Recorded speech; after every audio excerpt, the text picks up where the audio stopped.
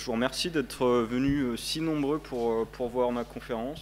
Je suis, je suis content d'avoir attiré autant de monde avec un acronyme un peu pompeux comme ça. J'espère que vous n'êtes pas tous venus en pensant que vous alliez apprendre une nouvelle super méthodologie de, de test unitaire ou quoi que ce soit, parce que c'est pas du tout le cas. donc ma, ma conf s'intitule PDD pour Pragmatism Driven Development. Et donc on va, parler de, qualité euh, vraiment dans un sens euh, très très large, euh, essayer justement de ne pas penser quand, on, quand on pense qualité à ce dont on a l'habitude. donc en deux mots je vais me présenter pour ceux qui ne me, connaissent pas, vous pouvez me retrouver sur Twitter sous pseudo Tentacon, donc n'hésitez pas à m'ajouter, ça me fera plein de, plein de followers d'un coup. Et euh, je suis développeur web depuis 7-8 euh, euh, ans. J'ai eu un parcours assez hétéroclite. Donc j'ai fait un petit peu. j'ai déjà été chez des éditeurs en assurance, dans le médical. J'ai fait pas mal d'agences web. J'ai fait aussi deux, années et quelques de freelance. Donc des situations très très très variées. et donc actuellement, je suis dans l'agence de dev KNP Labs dont euh, vous avez peut-être entendu parler. Euh, on est donc une agence qui est spécialisée en, Symfony 2, comme vous le savez peut-être. Et donc, euh, on va parler de qualité. Donc, la qualité, c'est quoi? Alors, je sais que c'est un, un, peu tôt là pour, pour faire quelque chose d'interactif, mais normalement, vous êtes tous allés chercher votre café avant. donc, je vais vous demander de réfléchir très très vite en, en, 5 secondes, parce qu'on n'a pas non plus super de temps. Euh, pour vous, quand je vous, dis, euh, quand je vous dis la qualité en deux mots, euh, qu'est-ce qui, qu'est-ce qui va vous venir à l'esprit Je vais compter jusqu'à trois si vous pouvez jouer le jeu et puis tous, tous crier ce qui vous vient à l'esprit. 1, 2, 3. Vérifier, test. Automatiquement. Test. Test. Test. Régression. Comment Régression. Régression, ouais, bien. C'est bien, je suis content, vous avez tous dit test presque. Non régression. Non régression, ouais, ouais, très bien. Ok. Euh, quelqu'un qui a un truc super original à dire euh, sur, euh, sur la qualité, non Client Client? Ah Utilisateur, ouais, ouais, bonne réponse, projet. Bon, bah, ok. Bon, globalement, je suis content que vous avez quand même beaucoup d'e-tests. justement, le, le, but de la conf, ça va être un peu de démystifier ça, de dire les tests, oui, ça fait partie de la qualité, mais il n'y a pas que ça. Euh, donc on va revenir un petit peu sur, euh, euh, les mots-clés qui définissent aujourd'hui ce que c'est la qualité, enfin, ce que vous allez trouver sur Twitter, dans, les blogs tech, etc. donc on va commencer classique, hein, TDD, Test Driven Development, unit, unit des fois. On va avoir Acceptance Test Driven Development, Behavior Driven Development, comme moi j'affectue particulièrement. Euh, plus récemment DDD, donc qui voulait dire euh, pendant, pendant un temps très court Documentation Driven Development, et euh, maintenant on, pense plutôt à, Domain Driven Design. On va voir VDDDD pour Vardump and Die Driven Development, qui est, qui est encore assez à la mode. Et on va voir Ouais, tout un panel de, mots-clés comme ça qui, font un peu buzzer. Moi, euh, moi, ça me chagrine un peu en fait de voir que euh, quand on pense à qualité, on va tout de suite penser à test et TDD et pas euh, tout, ce qui va, tout ce qui va se passer derrière et qui est quand même assez important. D'autant plus que quand on pense TDD ou même BDD ou même, ou même DDD, on va souvent tomber sur des articles qui sont qui sont assez stricts, qui vont nous dire voilà, il y a une manière de faire, c'est comme ça. Par exemple, en TDD, on va d'abord écrire un test en rouge avant d'écrire son code, après on va écrire le code, après on va faire passer le test en vert, etc. Et si on, si on a le malheur de ne pas, faire de pas faire de test avant de coder, euh, on va être vu comme, euh, comme un peu un. Enfin, on, va tout de suite être classé dans la case euh, code sale, tu testes pas ton code, etc. Alors que moi, euh, avant de connaître TDD, euh, a, euh, au début que j'ai bossé, j'avais pas l'impression non plus de faire que de la merde tout le temps, alors que je savais même pas de, quoi on parlait. D'ailleurs, vous avez peut-être pu voir le troll, plus ou moins, qui a, eu, lieu il y a quelques temps, qui a été lancé en fait par le, par le créateur de Ruby on Rails. qui a lancé à une conf, puis des articles de blog, des articles en disant voilà, est-ce que le TDD c'est mort? Parce que pour lui, qui était un grand évangéliste de TDD, du TDD, il s'est rendu compte qu'à l'usage, c'était souvent très frustrant en fait.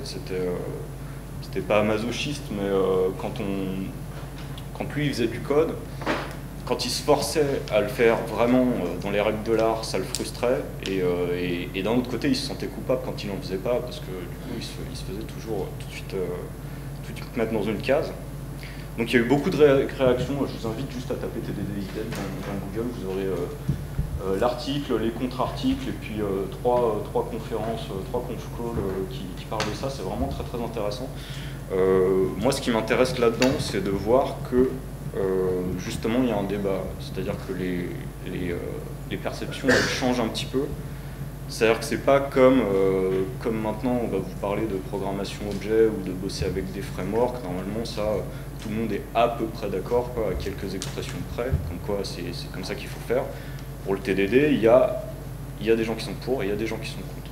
Je suis pas du tout en train de dire que le TDD c'est de la merde. Je vous, je vous conseille de continuer à en faire si vous en faites. Et en tout cas, si vous n'avez jamais expérimenté, d'expérimenter au moins une fois vraiment proprement le faire, parce qu'on apprend énormément de choses. Euh, c'est pareil avec le BDD, c'est pareil avec le DDD, tout ça, il faut, il faut savoir de quoi ça parle.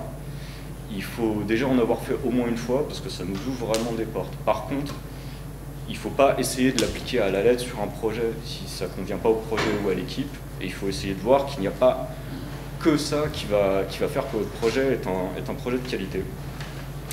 Euh, par exemple, moi, euh, il, y a, y a 10 ans, quand j'étais à l'IUT, on m'apprenait euh, la méthode des experts. Je ne sais pas si ça vous parle, s'il si y en a d'autres à, qui à qui on a appris ça à l'école. C'était une méthode de planification où on disait qu'on devait aller demander à l'ingénieur senior de 50 ans, quand on avait un projet, lui filer le cahier des charges de 60 pages, et lui, il allait faire une estimation à notre place, et il allait nous dire, ah, ça va prendre 6 mois, etc. Et puis, il se faisait un colloque de de seniors ingénieurs pour, euh, déterminer comment ça se faisait. Et là, aujourd'hui, quand on pense à ça, on se dit, bah, c'est quand même un peu, euh, c'est quand même un peu archaïque. Quoi. Les, les, les méthodes, elles évoluent.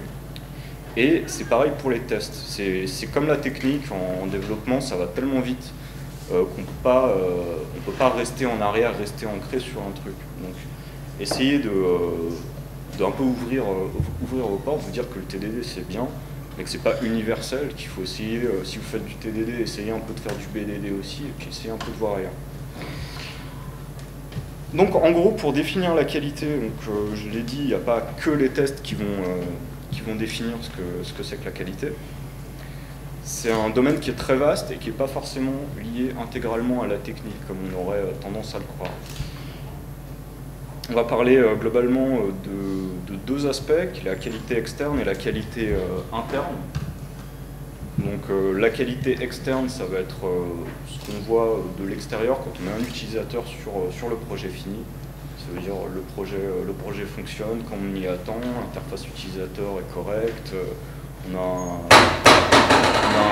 on, est, on est très bien dans le logiciel. Et aussi, euh, ce qu'on a tendance à oublier, c'est euh, que c'est joli. Ça veut dire pour le client, généralement, euh, un projet qui est joli, des fois, ça compte même presque plus qu'un projet qui marche. Je ne sais pas si vous avez déjà eu le cas, mais un client qui va dire ce bouton-là à tel endroit, ça va lui révolutionner la vie, et puis vous allez faire un truc super complexe de workflow à machine à état, et lui, ça va lui passer au-dessus de la tête. Donc ne pas oublier ça. souvent, quand on est développeur, la qualité externe, ça, peut nous passer un petit peu au-dessus de la tête. On, va penser que, euh, que qualité interne, donc ce qui se passe vraiment de l'autre côté euh, du miroir, à l'intérieur, dans le code. Euh, pour définir un, projet de qualité interne, on va dire je mets quelqu'un sur le code, il va tout de suite être bien dans le code, il va dire ah là là c'est joli, c'est bien indenté, il y a des tests, c'est sympa, quand on doit repasser dessus, on ne se tire pas les cheveux, ça c'est un, un, bon signe de qualité interne. Euh, j'ai dit, euh, le, développeur, la qualité externe, des fois, il en a, il en un peu rien à faire. C'est un peu, euh, le parallèle peut se faire aussi ici, c'est-à-dire que le client, généralement, il en a un peu rien à faire de la qualité interne et ça le dépasse. Et il va s'en rendre compte qu'une fois qu'on sera, ce sera trop tard, qu'on aura dépassé les délais, que pour faire la moindre features, il va falloir mettre trois semaines parce que le code est, imbitable et, et immaintenable. moi, je pense que c'est du devoir de tout le monde, à la fois les développeurs de s'intéresser à la qualité externe et à la fois aux clients de s'assurer qu'à l'intérieur, c'est aussi beau qu'à l'extérieur. Et on oublie aussi que des fois, il n'y a pas que le projet fini et, euh, et ce qui se passe à l'intérieur qui compte. Euh, des fois, c'est aussi toutes les interactions qui peuvent se faire qui vont, qui vont augmenter la qualité d'un projet. Je prends un exemple très très simple. Euh, si vous avez un bon chef de projet qui fait tampon avec le client, et qui ne redescend pas sur le développeur, qui va bien redécouper les specs comme il faut, etc., ça va se ressentir dans votre équipe. les gens vont être bien, ils vont coder correctement, s'ils codent correctement, ils vont, ils vont produire de la qualité ne euh, faut, vraiment pas oublier que les, facteurs sont, très grands et qu'il n'y en a pas que des techniques. Donc moi j'ai essayé de, euh, factoriser tout ça et d'essayer de sortir une définition que je pensais la plus, proche de, ce qu'est un projet de qualité. Euh, donc c'est moi qui l'ai inventé, hein. je me suis permis de m'auto-coder. Donc un projet de qualité pour moi, c'est un projet dont l'ensemble des acteurs est satisfait encore trois mois à sa sortie. C'est-à-dire que c'est pas parce qu'on sort un projet de qualité à la release que derrière, à la moindre maintenance, ça va se ressentir parce qu'on l'a fait à l'arrache et puis qu'on va qu'on va pas s'y tenir. C'est-à-dire l'ensemble des acteurs, ça va être les développeurs, sont fiers de leur code, le chef de projet il est content parce qu'on n'a pas dépassé les délais. J'insiste par exemple les délais, moi pour moi ça fait partie de la qualité externe du logiciel, puisque finalement c'est sur ça que, aussi que le client va être content ou pas parce qu'on aura respecté les délais. Donc le client est satisfait à la sortie, le client est satisfait plus tard, c'est-à-dire que quand il a de la maintenance à faire, c'est souple, ça, va, ça, va, très très vite. Euh, donc je vais commencer par vous montrer quelques exemples de situations où il y a eu, euh, où il y a eu friction et où ça peut, ça peut engendrer des problèmes au niveau de la qualité, donc, euh, dans, tous les domaines. Donc je vais commencer en, début de projet sur quelque chose qui est souvent souvent fait très vite et euh, qui va induire des gros problèmes de qualité derrière, c'est-à-dire euh, faire une mauvaise estimation, euh, c'est-à-dire généralement c'est qu'on va estimer trop court pour, pour un projet, bah, ça, va dire qu'on, ça veut dire qu'on va se presser, qu'on va faire moins de tests, qu'au final les specs on va les rusher, que la qualité externe va s'en, pâtir, etc. Moi pour moi les estimations, si, si, on pouvait les enlever de la, surface de la planète, ça, me, ça m'irait très bien. malheureusement le client il en a toujours besoin pour faire un budget.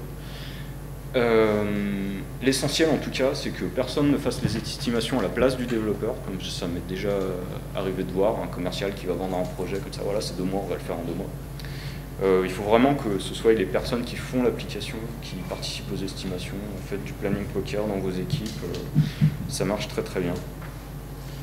je parle tout le temps de client parce que je suis dans un contexte d'agence web client, mais vous pouvez remplacer le client par votre utilisateur final, euh, votre patron, si vous bossez euh, sur des softs en interne, ça marche très bien. Euh, un autre client qui amène au même problème, c'est celui qui ne va pas avoir de budget, qui va, restreindre, les coûts au maximum, ou les délais, ou les deux. Donc généralement, on va se trouver sur une équipe de une personne sur un mois à faire un projet. On pourra de toute façon pas arriver à un, niveau de qualité qui sera propre. Ça, il faut bien que le client il soit conscient que si on va vite, on ne pourra pas le faire bien. Ça paraît, euh, ça paraît être du bon sens, mais, euh, mais, euh, mais souvent ça va pas. C'est aussi le même client qui va vous dire on va pas faire de test, on n'a pas le temps, etc. et qui pense que ça ne va pas impacter sur, sur sa qualité. L'autre client qui va vous dire ne faites pas de test et qui va peut-être pouvoir même vous dire n'utilisez pas telle ou telle techno parce que je la connais, c'est le client qui code. Alors j'ai eu le, cas assez souvent en fait. le client qui va juste avoir un background technique, qui va juste avoir assez de technique pour pouvoir vous dire non, non, euh, n'utilise pas euh, Propel par exemple, utilise Doctrine, c'est vachement mieux, etc. Même si vous, vous avez l'expérience euh, sur Propel depuis des années.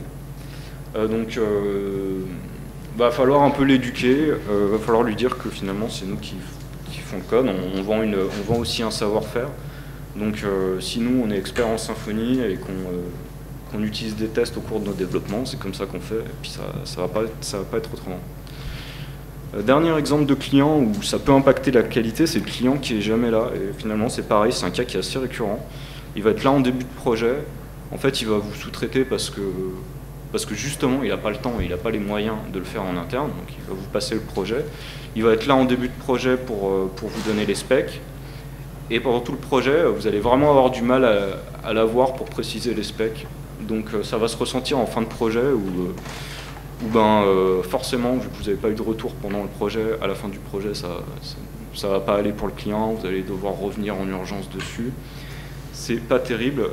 pour, pour pallier à ça, on peut suivre le principe du sans nouvelles de votre part. Donc vous envoyez un email euh, vous dites voilà, j'ai pas de précision sur tel spec, euh, alors on va faire comme ça, et puis euh, sans nouvelles de votre part, ce sera comme ça qu'on va faire. C'est bien parce que déjà ça vous donne l'assurance que, que, vous faites un truc comme vous, vous le voulez, et puis souvent ça va le faire réagir aussi, parce que tout de suite, si ce que vous lui dites, c'est pas comme ça qu'il envisageait, lui va revenir, même s'il est pas, même si généralement il n'est pas dispo. après, on va passer à l'intérieur de l'équipe. donc, on a le junior par exemple. Alors le junior, souvent, c'est pas un problème, hein. souvent c'est moteur dans une équipe. Je parle pas de junior pour dire, euh, pour dire sortie d'école. je vais définir le junior comme quelqu'un qui va pas être habitué à, vos méthodes de travail ou à votre techno ou etc. Euh, ça se ressent sur la qualité que si on le laisse euh, dans son coin et qu'on euh, qu'on prend pas, euh, on, prend le temps pour le, pour le monter en compétence. Donc ça va être euh, faire du pair programming, vraiment insister sur, sur la code review, l'accompagner avec un lead et, et être bien conscient qu'un junior, c'est pas en deux mois qu'il va devenir expert, il faut prendre le temps et souvent au final ça c'est des personnes qui vont devenir moteurs à l'intérieur parce que c'est des gens qui sont, qui sont toujours assez motivés. Euh, je vais finir sur, euh, sur un cas particulier qui va être euh, trop faire de tests. donc déjà, le, mot code coverage, c'est pareil, j'aimerais bien le bannir du vocabulaire des gens, parce que c'est pas du tout un indicateur de qualité. C'est juste un indicateur de on a fait plein de tests. Alors, pas oublier que les tests, c'est du code aussi, que trop de tests, c'est de la complexité dans le projet, c'est plus de code à maintenir, ça met de la pression quand on quand on merde une branche, on n'est jamais sûr que le build va être vert ou rouge, etc. On va prendre plus de temps à, fixer des tests que, euh, euh, à coder. Euh, donc moi, je suis partisan d'un juste milieu. Hein. Il faut absolument faire des tests, mais il faut absolument pas trop en faire non plus. donc je vais vous, après, après le négatif, je vais vous montrer un petit peu comment moi je vois les choses d'un côté qualité. Donc pour moi, ça commence vraiment euh, dès le début du projet. Et le début du projet, c'est vraiment le moment très très très important où on va poser les bases de la qualité. Donc euh, je commence par des choses qui peuvent paraître un petit peu, euh, un petit peu hallucinantes, mais si vous bossez sur, Git, il faut avoir un dépôt qui fonctionne avant de coder. on ne va pas créer notre dépôt après, ça, ça sert absolument à rien. On va créer un README compréhensif avec un petit descriptif du projet, comment se loguer euh, aux environnements de test, comment lancer les tests, si on a des spécificités sur le projet, on le marque. Va aussi mettre en, place euh, un environnement qui sera prêt pour être bootstrappé, direct. Donc moi ce que je fais, c'est que dans tous mes projets, je vais créer un petit script bin bootstrap qui va tout initialiser. Donc on va euh, chercher les dépendances, on va, on mettre la base de données raccord, on va charger le jeu d'essai, on va installer euh, les, assets si besoin. Tout ça, c'est très important avec le README aussi, parce qu'il faut penser à l'avenir du projet. Il faut penser, quelqu'un arrive dans votre team, euh, votre projet, il doit être, euh, il doit être opérationnel en 5 minutes. Ce qui est vraiment pas le cas de, la plupart des projets sur lesquels j'ai bossé. Hein. Il y a des projets, on met un, on met un jour à, juste avoir la page d'accueil, c'est assez incompréhensible. Euh, d'autant que vous voyez, là, ça m'a pris 10 lignes, c'est vraiment le truc qu'il va falloir faire le premier jour. On va aussi, euh, le premier jour, faire un jeu d'essai minimum, euh, qu'on va faire évoluer. Donc typiquement, moi, je vais mettre, mettre des utilisateurs dedans le premier jour, comme, on n'a pas encore attaqué les features. on a la chance d'avoir des libs super pour, pour gérer ça. Donc Alice, Faker de, de Zaninoto, qui est, qui est, très très bien, qui va faire des, données cohérentes. On n'aura pas de client 1, client 2, etc. Euh, moi, le jeu d'essai, je l'utilise à la fois pour développer, à la fois pour, euh, pour mettre sur l'environnement de pré-production et aussi à la fois pour, euh, pour les tests fonctionnels. Alors ça, je sais qu'on n'est pas tous d'accord dessus, même, même à KNP. moi, je suis partisan d'utiliser toujours les mêmes données parce qu'on a l'habitude, on va connaître un petit peu nos données, on va dire Raoul, c'est tel utilisateur, ça va tout le monde va parler le même langage, le client va parler le même langage, c'est-à-dire qu'il va dire ah, quand je suis connecté avec Raoul, je vais pouvoir faire ça, et il y a un bug, etc. On va vraiment pouvoir parler, parler de la même chose. ça évite de refaire un jeu de, un jeu de données spécifique pour les tests toujours le premier groupe, je vais mettre l'intégration continue en place, donc on choisit bien ses outils, on installe les dépendances dans le projet, donc euh, si vous utilisez Atom, euh, Atom il est, euh, il est, installé le premier jour. tout est vert sur l'intégration continue, donc chez Cancun on est sous Travis, très classique. Si vous pouvez, faites aussi du déploiement continu, c'est-à-dire que le premier jour, vous avez une instance qui tourne sur votre, sur votre environnement de production ou de pré-production. je vous ai mis en lien vers CodeShip parce que c'est des gens qui sont très très gentils et que leur solution est euh, super classe.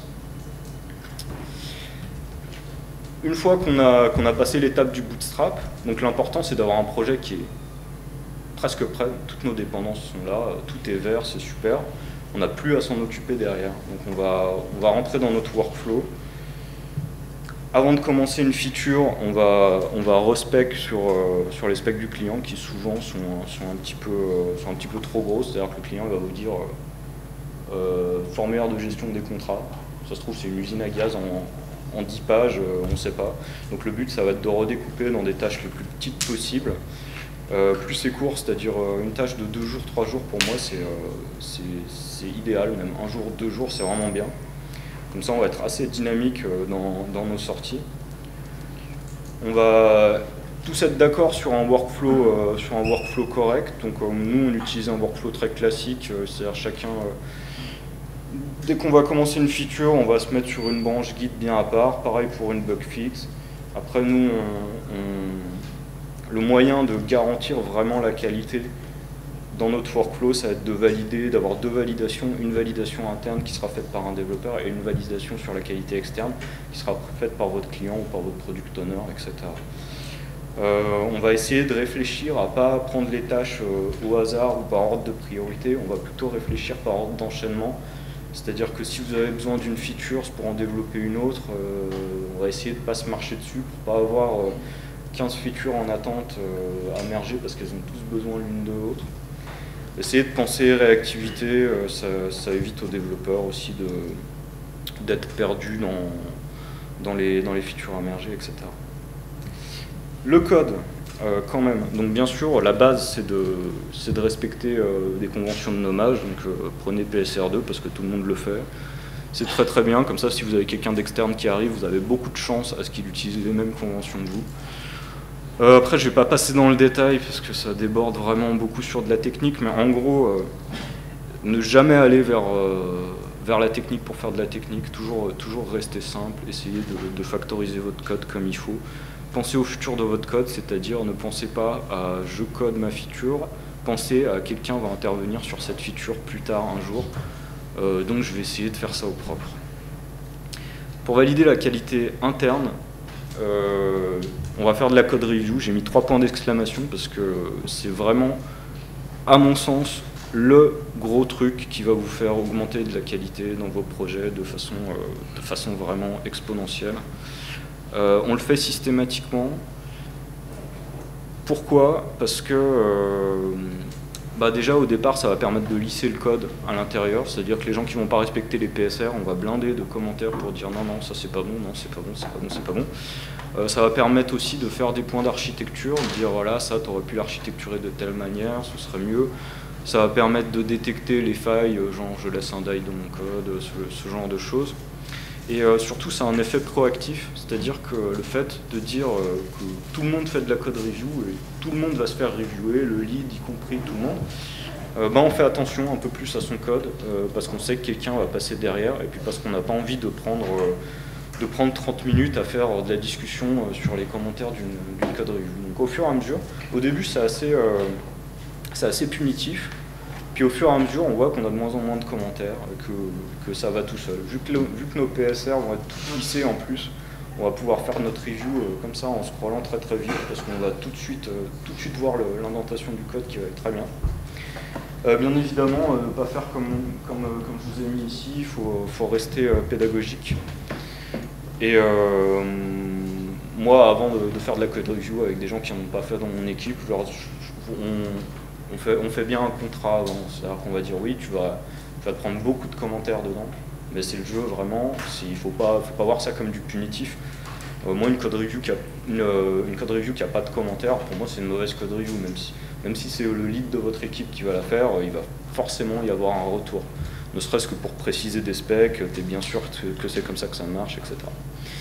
Après, pour valider la qualité externe, euh, il va falloir avoir un bon environnement de staging et il va falloir euh, demander à votre client ou votre product manager, euh, etc., de valider chaque feature une à une. Alors souvent, souvent le client n'est pas dispo, donc on va le faire par quelqu'un d'autre qui sera garant de la qualité externe et qui sera dans notre équipe.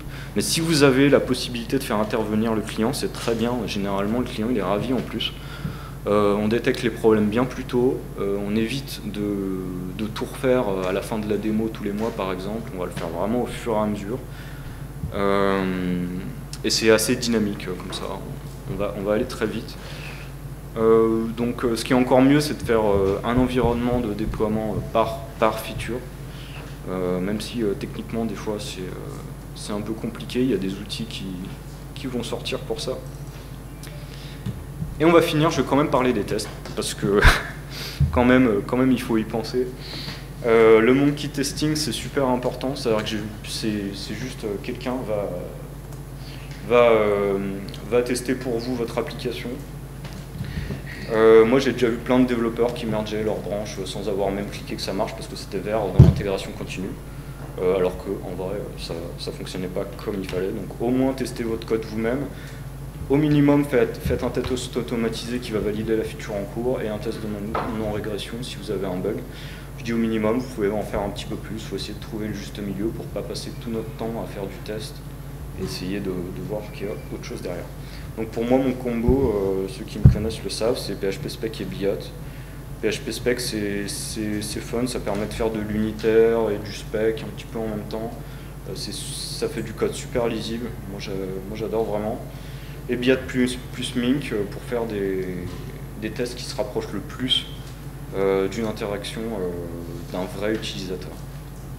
Normalement, on peut ne pas se marcher dessus et faire soit du PHP spec, soit du BIAT sans, tester deux fois la même chose. Et on recommence jusqu'à la fin de la, la livraison. Donc je vais finir en disant, essayez de valoriser la qualité, qui est une entité vraiment à part, qui pour moi n'est pas forcément liée à la technique, parce qu'on valorise beaucoup la technique en disant voilà, va lire tel article euh, sur tel pattern, etc. Et au final, on ne valorise pas beaucoup la qualité en disant ouais, il faut aussi que le projet final y brille et que le client soit content. Voilà, c'est tout pour aujourd'hui. Donc euh, je vais remercier la FLUC, les organisateurs, les sponsors, tout ça. Euh, si vous avez des questions, je crois qu'on a un petit peu le temps. Ouais. Donc n'hésitez pas. Ouais. Euh, euh, tu as mentionné quelques outils que, tu utilises euh, comme VHL, PSP Spec, etc. Je pense que par rapport à la présentation que tu as fait, il doit y en avoir plein d'autres que tu utilises et je pense que ce serait, enfin, pour ma part, ce serait intéressant de savoir lesquels tu utilises dans le quotidien en fait pour mettre en place telle ou telle chose ou, faire en sorte, évidemment, tu as dit aussi que bah, selon la méthodologie utilisée, ce n'est pas les mêmes outils, c'est logique. Mm. Après, voilà, il y en a eu euh, trois ou quatre. Nous, euh, ouais, sur, sur, un, sur un cycle de développement qui peut être très court, donc ça va être un mois, deux mois, euh, vraiment les outils principaux c'est ça, c'est-à-dire que je les installe, ça marche. Après, il faut aussi voir qu'il y a tout. nous, par exemple, on est sur GitHub Entreprise, que ce soit GitLab, GitHub, peu importe, Bitbucket. c'est aussi ces outils qui vont être derrière, qui vont être très très importants. Par exemple, nous aussi, toute notre gestion de projet, on va la faire sur Trello parce que c'est très très simple et qu'on va pouvoir découper les tâches bien et que c'est un workflow qui est très réactif, qui va vraiment à l'essentiel. Euh, pareil, moi j'insisterai pas sur, euh, pas trop justement sur les outils techniques.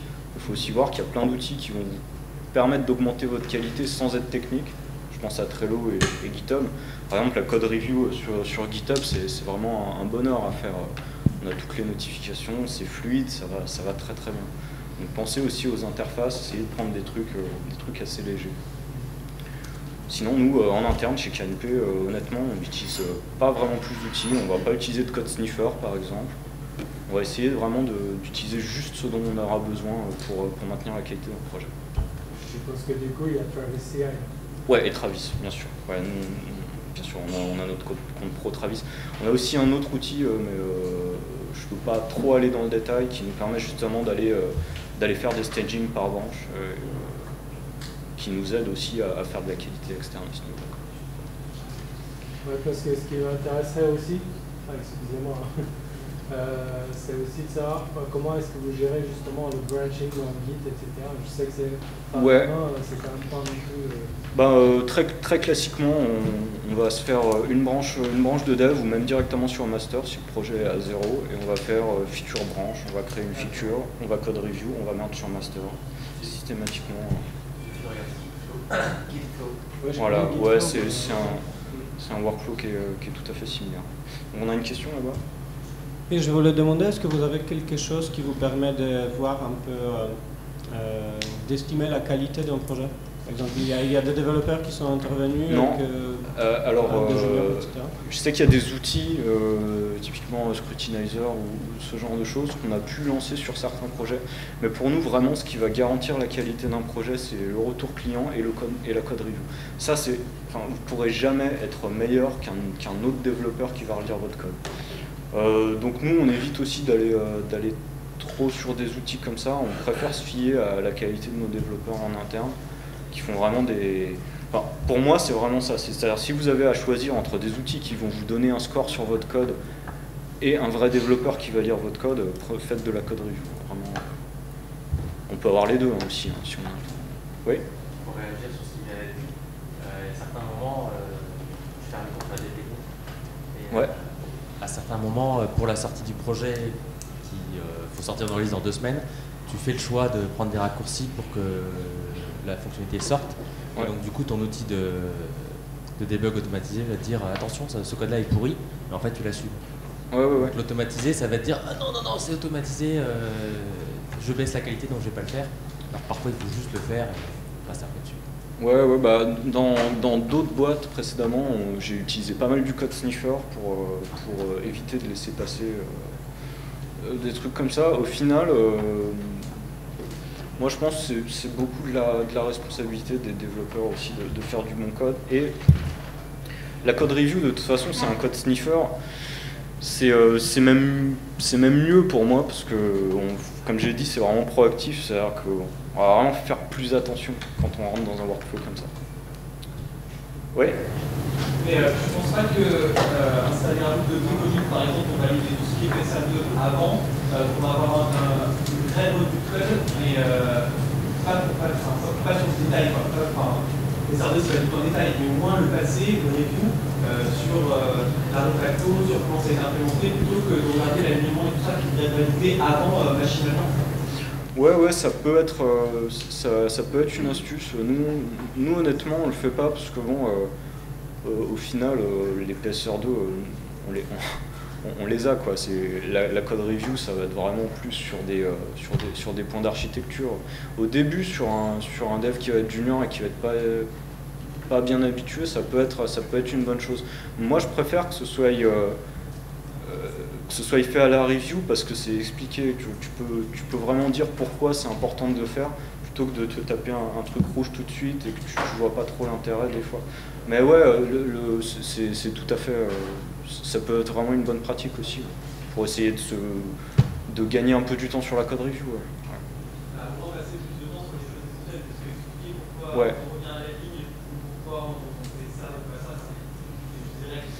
moi j'aime bien quand même euh, le faire à la, code review. Moi je dis plus il y a, plus y a de commentaires sur une, sur une review et puis plus ça, plus ça impacte bien. Mais oui, je, je, suis d'accord, dans l'idée c'est... J'ai une question surtout pour le, à propos du déploiement continu. Ouais. Parce que je pense que tous ceux qui font l'intégration continue, euh, ils voudraient bien en faire. Le problème il est généralement plus philosophique. Mmh. C'est-à-dire, euh, est-ce qu'il y a une personne qui est chargée de merger euh, sachant que ça risque d'être déployé en prod, est-ce qu'on merge qu'en est-ce qu'on déploie en continu qu'en pré-prod sais pas ce que, ce que vous faites, vous, euh, ben, Nous, globalement, euh, on fait du, déploiement continu de pré-prod en fait, c'est-à-dire que toutes nos features sont déployées sur un environnement pré-prod, elles sont testées. Euh, on va aussi mettre à disposition master en pré-prod qui est déployé vraiment automatiquement. après, c'est, la, question elle se pose plus trop une fois que tu as un workflow qui est vraiment vraiment vraiment béton, souple, etc., que, tu as confiance en tes tests. Parce que c'est aussi ça, l'intégration continue, c'est de dire j'ai fait une feature, je la pousse, je sais que Travis va être vert, et je suis super confiant en ce que j'ai fait. j'ai testé mes features, j'ai vu qu'il n'y a pas eu de régression. C'est vert, pour moi j'ai une confiance absolue en ça, je peux sortir une démo derrière. Euh, donc le facteur déterminant, ça va pas être décider euh, qui, euh, qui merge quoi, ça va être plutôt demande à ton dev est-ce que tu as confiance en ton code? Et voilà là on peut faire du déploiement continu dès que c'est vert sur master push. du coup vous arrêtez quand même la pré-prod Ouais le, problème c'est que nous chez KNP on fait souvent on n'a même pas à gérer le déploiement et ça va être le client qui va le faire sur ses propres serveurs etc. Donc la contrainte on l'a finalement pas très souvent. Mais je pense que ouais, ça peut être fait. C'est vraiment uniquement basé sur la confiance. Euh, moi, samedi rouge sur mon timer, alors je sais pas si on a encore le temps. On va arrêter là les questions. Euh, allez, une petite dernière rapidement, très rapidement. Euh, est-ce que tu penses que l'expérience utilisateur peut être intégrée dans la notion de qualité? Euh, dans quel sens? Est-ce que ça doit être automatisé ou euh, non non? Non non. Ouais bien sûr bien sûr. Ça d'être difficile, mais sur, les, oh. sur le si, si, mais complètement, moi ça fait partie de la qualité externe et c'est souvent ce que, ce, que, ce que va voir le client et c'est souvent ce que le développeur, spécialement les développeurs back-end, va, va mettre dans un coin sans trop y penser. Quoi. Et euh, pour moi c'est critique, vraiment. Et comment tu peux répondre à cette problématique? Bah, le mieux, c'est d'avoir des gens euh, qui, s'y connaissent en interne, d'avoir un dev content qui va pouvoir nous appuyer, d'avoir des gens, euh, d'avoir un bon product manager qui va, valider que le produit, non seulement il marche, mais qu'en plus il, a il a l'ergo qui, va avec le client. Mais par contre, souvent on a le client au niveau de l'ergo qui va nous mettre des bâtons dans les roues et qui va dire non, non, euh, moi je veux. typiquement, moi j'ai, récemment là, j'ai fait un gros formulaire en bootstrap là, qui prenait trois pages. Donc Bootstrap c'est fait pour avoir une ergo euh, assez propre. Le client il a dit non, on va tout tasser les champs, comme ça on diminuera le scrolling vertical et puis euh, au final, euh, voilà, Et eh ben, je vous remercie beaucoup d'être venu. J'espère que